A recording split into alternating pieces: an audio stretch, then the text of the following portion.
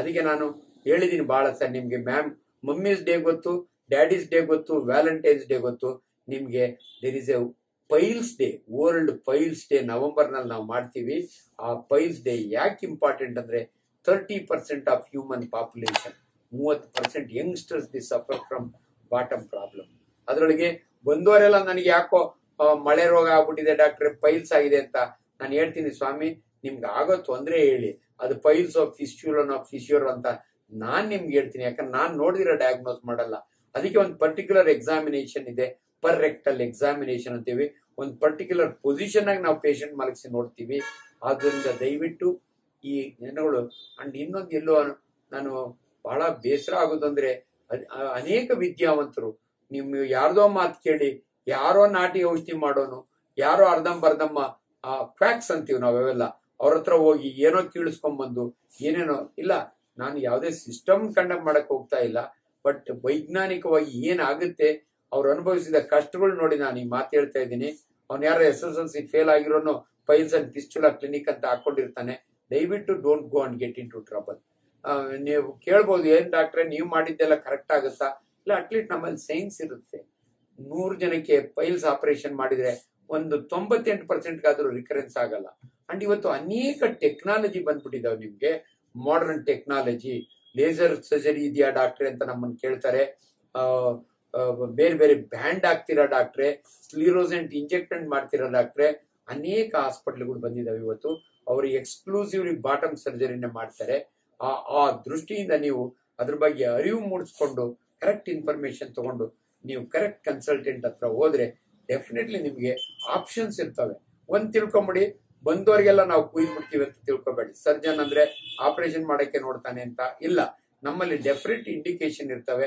ಯಾವಾಗ ಯಾವ ಪ್ರೊಸೀಜರ್ ಮಾಡಬೇಕು, ಯಾರಿಗೆ ಏನ್ ಮಾಡಬೇಕು ಅನ್ನ ಪ್ರೊಸೀಜರ್ ಪ್ರಕಾರನೇ ಮಾಡ್ತೀವಿ. ಅನ್ನೆಸರಿ ನಿಮ್ಗೇನು ಮಾಡೋದಿಲ್ಲ.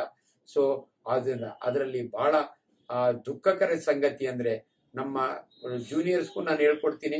ಪ್ರತಿಯೊಬ್ಬರಿಗೂ ಕೂಡ ನೀವು ಬಾಟಮ್ ಸರ್ಜರಿ ಮಾಡಬೇಕಾದ್ರೆ ಹೊರಗಡೆ ಮೂರ್ piles three o'clock eleven o'clock seven o'clock ಕಂಡ್ರು ಕೂಡ ದಯವಿಟ್ಟು ನೀವು ನಿಮ್ಮ ಡಿಜಿಟ್ನ ನಾವು ಸರ್ಜನ್ ಸ್ಟೆಥಸ್ಕೋಪ್ ಅಂತೀವಿ.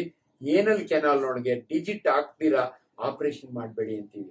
ಮೊನ್ನೆ ತಾನೇ ನನಗಾದ ಅನುಭವ, ಒಬ್ಬ ಐವತ್ತೆಂಟು ವರ್ಷದ ನಂದೇ ಪೇಷಂಟಿಗೆ ಒಳಗಡೆ ಬಿಕಾಸ್ ಪೇನ್ಫುಲ್ ಅಂತ ನಾನು ಡಿಜಿಟ್ ಹಾಕಕ್ ಹೋಗ್ಲಿಲ್ಲ. ಆಪರೇಷನ್ ಟೇಬಲ್ ಮೇಲೆ ಅನಸ್ತಿಷ ಇರುತ್ತೆ, ನೋಡಿದ್ರೆ ಏನಲ್ ಕೆನಾಲ್ ಮೇಲ್ಗಡೆ ರೆಕ್ಟಲ್ ಕ್ಯಾನ್ಸರ್ ಗುದದ್ವಾರದ ಕ್ಯಾನ್ಸರ್. ಯಾರೇ ಒಬ್ಬರು ಮೋಷನ್ ಅಲ್ಲಿ ಬ್ಲಡ್ ಆಗುತ್ತೆ ಅಂತ, ದಯವಿಟ್ಟು ಎದುರ್ಕೋಬೇಡಿ, ಕ್ಯಾನ್ಸರ್ ಆಗಿರ್ಬೋದು ಅಂತ. ಮಳೆ ರೋಗ ಇರ್ಬೋದು, ಅಂದ್ರೆ ಪೈಲ್ಸ್ ಇರ್ಬೋದು, ಫಿಶರ್ ಇರ್ಬೋದು, ಆದ್ರೆ ಅಪರೂಪಕ್ಕೊಮ್ಮೆ ಕ್ಯಾನ್ಸರ್ ಇರುತ್ತೆ. ಅದು ನಾನ್ ಕಂಡುಹಿಡಿತೀನಿ ಒಬ್ಬ ಸರ್ಜನ್ ಆಗಿ ಡಿಜಿಟಲ್ ರೆಕ್ಟಲ್ ಎಕ್ಸಾಮಿನೇಷನ್ ಮಾಡಿದ್ರೆ ಬರೀ ನನ್ನ ಫಿಂಗರ್ನಲ್ಲಿ ನಿಮ್ ಕ್ಯಾನ್ಸರ್ ಇದೆಯಾ ಇಲ್ಲೋ ಅಂತ ನಾನು ಕಂಡಿಡಿದು, ಅದಕ್ಕೆ ಫರ್ದರ್ ಅಡ್ವೈಸ್ ಮಾಡ್ಬೋದು. ಆದುದರಿಂದ ಬಹಳ ಇಂಪಾರ್ಟೆಂಟು. ಯಾವುದೇ ಒಂದು bleeding from any orifice don't neglect ಅಂತ ಹೇಳ್ತೀವಿ. ಅದ್ರೊಳಗಾಗಿ ಗುದದರದಲ್ಲಿ ಬರ್ತಕ್ಕಂಥ ಬ್ಲಡ್ ಅನ್ನ ನಾವು ಎಕ್ಸಾಮ್ ಮಾಡಿ ನಿಮಗೆ ಕಂಡುಹಿಡಿತೀವಿ ಆದುದರಿಂದ ನನ್ನ ಮಾತು ಕೇಳಿಸ್ಕೊಳ್ತಾ ಇರೋರು, ಕೇಳಿರೋರು, ತುಂಬಾ ಜನ ಈಚೀಚೆಗೆ ಮತ್ತೆ ನಮ್ ಡಾಕ್ಟರ್ ಹತ್ರ ಹೋಗಿ ಬಾಟಮ್ ತೋರಿಸ್ಬೋಣ ಇಲ್ಲ. ನಿಮ್ದೇ ಏರಿಯಾ ಗುಲ್ಬರ್ಗಾದಿಂದ ಫೋನ್ ಮಾಡ್ತಾರೆ ನನಗೆ. ರಾಯಚೂರಿಂದ ಮಾಡ್ತಾರೆ. ನಾನು ಅವ್ರಿಗೆ ಹೇಳ್ತೀನಿ, ಅಲ್ಲಿನ ಲೋಕಲ್ ಡಾಕ್ಟರ್ಗಳಿಗೆ ನಾನು ನೋಡಪ್ಪ ಚಿನ್ನಿವಾಲ ಡಾಕ್ಟರ್ ಇದ್ದಾರೆ ರಾಮಪ್ಪ ಇದ್ದಾರೆ ನಿಮ್ಮೂರಿನಲ್ಲೇ ಅವ್ರ ಹತ್ರ ತೋರಿಸ್ಕೊಳ್ಳಿ. ಇದಕ್ಕೆ ನಾನು ಇನ್ಫಾರ್ಮೇಶನ್ ಕೊಡ್ತಿದ್ದೀನಿ ಹೊರತು ಡಾಕ್ಟರ್ ಆಂಜನಪ್ಪ ಒಬ್ಬನೇ ಇದಕ್ಕೆ ಸ್ಪೆಷಲಿಸ್ಟ್ ಅಲ್ಲ. ನಂತರದವರು ಸ್ನೇಹಿತರು ಕ್ಲಾಸ್ಮೇಟ್ಸು ತುಂಬಾ ಜನ ಇದ್ದಾರೆ ಅದರಿಂದ ದಯವಿಟ್ಟು ನನ್ನ ನನ್ನ ಕಡೆಯಿಂದ ಇನ್ಫಾರ್ಮೇಶನ್ ತಗೊಳ್ಳಿ. ಈ ನಾನು ಯಾರ ಹತ್ರ ಹೋಗ್ಬೇಕು ಅಂತ ಹೇಳ್ತೀನಲ್ಲ, ಆ ರೀತಿ. ನನ್ನ ಹತ್ರ ಬಂದ್ರು ಕೂಡ ನಿಮ್ಗೆ ಸಮಯ ಇದ್ರೆ ನನಗೆ ಫೋನ್ ಮಾಡಿದಾಗೆ ನನಗೆ ಅಪ್ಪ ಇದಿದ್ರೆ ನಾನು ನೋಡ್ಲಿಕ್ಕೆ ಅಡ್ಡಿ ಇಲ್ಲ. ಬಟ್ ಎಲ್ಲೋ ಒಂದ್ ಕಡೆ ಇವತ್ತಾದ ಗೊಂದಲ ನನ್ನ ಪೇಷಂಟ್ಸ್ ತುಂಬಾ ಜನ ಕಾಯ್ತಾ ಇದ್ರು. ನನಗೆ ಸಡನ್ ಆಗಿ ಸುಗುಣ ಹಾಸ್ಪಿಟಲ್ ಒಂದು ಎಮರ್ಜೆನ್ಸಿ ಕಾಲ್ ಅಟೆಂಡ್ ಮಾಡ್ಬೇಕಾಗಿತ್ತು ಮಧ್ಯದಲ್ಲೇ ಬಿಟ್ಟು ಹೊರಟೋದೆ. ಬಟ್ ಅನ್ಫಾರ್ಚುನೇಟ್ಲಿ ಅವರೆಲ್ಲ ಬೇಜಾರು ಮಾಡ್ಕೊಂಡು ನಮ್ಮ ಡಾಕ್ಟರ್ ಸರಿಯಾಗಿ ಟೈಮ್ ಕೊಟ್ಟು, ಆ ಟೈಮ್ಗೆ ಇರಲ್ಲ ಅಂತ ಹೊರಟೋದ್ರು. ಇದು ನಮ್ಮ ಕಷ್ಟಗಳು ವೈದ್ಯರಾಗಿ ಸರ್ಜನ್ಗಳಾಗಿ ಸಡನ್ ಆಗಿ ಎಮರ್ಜೆನ್ಸಿ ಬಂದಾಗ ಬಿಟ್ಟು ಹೋಗ್ಬೇಕಾಗತ್ತೆ. ಆ ನಿಟ್ಟಿನಲ್ಲಿ ಇವತ್ತು ನಾನು ಆ ರೀತಿ ಹೋದ ನನ್ನ ಪೇಷಂಟ್ಗಳಿಗೆ ಕ್ಷಮೆ ಕೇಳ್ತಾ ಇದನ್ನ ಬಹಳ ಜನ ಕೇಳ್ತಾರೆ, ಮೆಣಸಿನ್ಕಾಯಿ ತಿಂದ್ರೆ ಪೈಲ್ಸ್ ಆಗುತ್ತೆ, ಖಾರ ತಿಂದ್ರೆ ಪೈಲ್ಸ್ ಆಗುತ್ತೆ. ನಿಮ್ಗೊಂದ್ ಮಾತು ಹೇಳ್ತೀನಿ, ಮೆಣಸಿನ್ಕಾಯಿಗೂ ಖಾರಕ್ಕೂ ನಿಮ್ ಪೈಲ್ಸ್ಗೂ ಸಂಬಂಧನೇ ಇಲ್ಲ. ನಿಮ್ಮ ಮೆಣಸಿನ್ಕಾಯಿ ಬಾಯಿಂದ ನಿಮ್ಮ ಏನ ಸತ್ರಿ ಬರೋ ಅಷ್ಟೊತ್ತಿಗೆ ಮೆಣಸಿನ್ಕಾಯಿ ಅಲ್ಲ, ಬದನೆಕಾಯಿ ಆಗಿರುತ್ತೆ. ಯಾಕಂದ್ರೆ ಜಠರ ಎಲ್ಲವನ್ನು ಅರ್ದು ಬಿಡುತ್ತೆ. ಅದನ್ನೇ ನಾವು ಡೈಜೆಷನ್ ಅನ್ನೋದು. ಸ್ಟೊಮಕ್ನಲ್ಲಿ ಎಲ್ಲ ಕೂಡ ಮಸಾಲ ಆಗ್ಬಿಡುತ್ತೆ ಅರ್ದು ಅರ್ದು ಇಟ್ಸ್ ಎ ಗ್ರೈಂಡಿಂಗ್ ಮಿಷಿನ್. ಅದನ್ನ ನಾವು ಕೈ ಅಂತೀವಿ ನಾವು.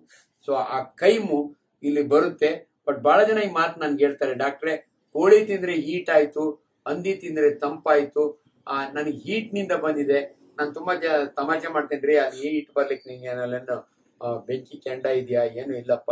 ಕೆಲವು ಫುಡ್ ಹಾಟು ಕೆಲವು ಫುಡ್ ಕೋಲ್ಡು ಇದು ಜನ ಅನ್ಕೊಳ್ತಾರೆ. ನಾನು ತುಂಬಾ ಹೀಟಿನ ಫುಡ್ ನನ್ನ ಬಾಡಿ ಭಾರಿ ಹೀಟು ಡಾಕ್ಟ್ರೆ ಅಂತಾರೆ. ಇವೆಲ್ಲ ನಮ್ಮ ಅಲೋಪತಿ ಸಿಸ್ಟಮ್ನಲ್ಲಿ ಇಲ್ಲ ದಯವಿಟ್ಟು ಫೈಬರ್ ಸೌತೆಕಾಯಿ ತಿನ್ನಿ, ಮೂಲಂಗಿ ತಿನ್ನಿ, ಒಗರು ಬಾಳೆಹಣ್ಣು ತಿನ್ನಿ, ಒಗರು ಪಪಾಯ ತಿನ್ನಿ, ತುಂಬಾ ಚುಕ್ಕೆ ಬಾಳೆಹಣ್ಣು ತಿನ್ಬೇಡಿ, ಯಾಕಂದ್ರೆ ಅದ್ರೊಳಗೆ ಫೈಬರ್ ಕಡಿಮೆ ಆಗುತ್ತೆ, ಆ ಶುಗರ್ ಜಾಸ್ತಿ ಆಗಿರುತ್ತೆ. ಈ ರೀತಿಯ ವಿಚಾರಗಳನ್ನ ನೀವು ದಯವಿಟ್ಟು ಅರ್ಥ ಮಾಡ್ಕೋಬೇಕು. ಇಲ್ಲ, ನನ್ನಲ್ಲಿ ಒಂದು, ಯಾಕಂದ್ರೆ ನಾನು Ayurveda is not a good system ಹಂಗೆಲ್ಲ ಮಾತಾಡಕ್ಕಾಗಲ್ಲ. ಅದು ಅವ್ರ ಸಿಸ್ಟಮ್ ನಾನು ಹೇಳೋದೇನಂದ್ರೆ, ಈ fissure is a physical condition piles ಕೂಡ ಫಿಸಿಕಲ್ ಕಂಡೀಷನ್ ನಾನು ಬಹಳ ಸಾರಿ ಸುಲಭನಾಗಿ ಒಂದು ಮಾತು ಹೇಳ್ತೀನಿ. ಮಂತ್ರ ಹಾಕಿದರೆ ಮಾವಿನಕಾಯಿ ಉದುರಲ್ಲ ಅಂತ. ಈಗ ಫಿಶರ್ ಒಂದು ಹುಣ್ಣು, ಅಲ್ಲಿ ಒಂದು ಸ್ಕಿನ್ ಟ್ಯಾಗ್ ನೇತಾಡ್ತಾ ಇರ್ತದೆ. ಅದನ್ನ ನಾವು ಸೆಂಟಿನಲ್ ಪೈಲ್ ಅಂತೀವಿ ನಾವು. ಅದನ್ನ ಹೋಮಿಯೋಪತಿಯಲ್ಲೂ ಕರಗಿಸಕ್ಕಾಗಲ್ಲ, ಆಯುರ್ವೇದಲ್ಲೂ ಕರಗಿಸಕ್ಕಾಗಲ್ಲ, ಅಲೋಪತಿಯಲ್ಲೂ ಕರಗಿಸಕ್ಕಾಗಲ್ಲ. ನಿಮ್ ಸಿಂಪ್ಟಮ್ಸ್ಗೆ ಸಿಂಪ್ಟಮ್ಯಾಟಿಕ್ ಟ್ರೀಟ್ಮೆಂಟ್ ಕೊಡಬಹುದು ಮೋಷನ್ ಗಟ್ಟಿ ಆಗೋದ್ರಿಂದ ಫಿಶರ್ ಆಗೋದ್ರಿಂದ ನಿಮ್ಗೆ ಮೋಷನ್ ಸಾಫ್ಟ್ ಆಗೋಂತ ಮೆಡಿಸಿನ್ ಕೊಡ್ಬೋದು. ಅಲ್ಲಿ ಹಚ್ಕೊಳ್ಳಿಕ್ಕೆ ಲೋಕಲ್ ಅನಸ್ಥಿತಿಯ ಜೈಲಕ್ಕೆ ಕೊಡ್ಬೋದು ನಾನು? ಬಟ್ ನೀವ್ ಏನೇ ಮಾಡಿದ್ರು ಕೂಡ ಸರ್ಜಿಕಲ್ ಪ್ರೊಸೀಜರ್ ಅದರೊಳಗೂ ನಿಮ್ಗೆ ತುಂಬಾ ಗೊಂದಲ. ಡಾಕ್ಟರ್ ಅಲ್ಲೆಲ್ಲೋ ಲೇಸರ್ ಮಾಡ್ತಾರಂತೆ, ಇಲ್ಲೆಲ್ಲೋ ಇದು ಮಾಡ್ತಾರಂತೆ. ಲೋಕಲ್ನ ಮಾಡಿ ಅನೇಕ ಪ್ರೊಸೀಜರ್ಸ್ ಇದಾವೆ. ಬಟ್ ಸ್ಟ್ಯಾಂಡರ್ಡ್ ಟ್ರೀಟ್ಮೆಂಟ್ ಆಲ್ವೇಸ್ ತಲತಲಾಂತರದಿಂದ ಬಂದಿರುವಂತದ್ದು fissurectomy excision of sentinel pile pile sphincterotomy ಪೈಲ್ಸ್ಗೆ haemorrhoidectomy ಈ ಲೇಸರು ಡಯಾಥರ್ಮಿ ಇವೆಲ್ಲ ನಮ್ಮ ಸೋರ್ಸ್ ಆಫ್ ಎನರ್ಜೀಸ್ ಅವು. ನಾನು ಲೇಸರ್ ಯೂಸ್ ಮಾಡ್ಬೋದು, ಕಟ್ ಮಾಡಲಿಕ್ಕೆ, ಡಯಾಥರ್ಮಿಕ್ ಕಾಟ್ರಿ ಯೂಸ್ ಮಾಡ್ಬೋದು. ಸೊ, ಅನೇಕ ಪ್ರೊಸೀಜರ್ಸ್ ಇದಾವೆ.